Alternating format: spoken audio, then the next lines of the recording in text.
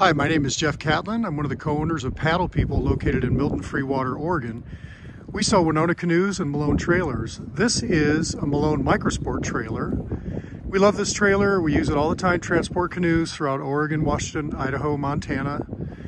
And we found them to be very durable, lightweight, and we can carry two large canoes. This one we've added a second tier, which is uh, an option you can add, uh, a storage box on top, We've added the optional spare tire kit and also the optional tongue stand that has a wheel on it. We love these trailers. We've been using them for years. And so we sell Malone trailers and Wenonah canoes because we use them and we know them to be very durable, high quality products. Thanks for tuning in. This is Jeff Catlin with Paddle People located in Milton Freewater, Oregon.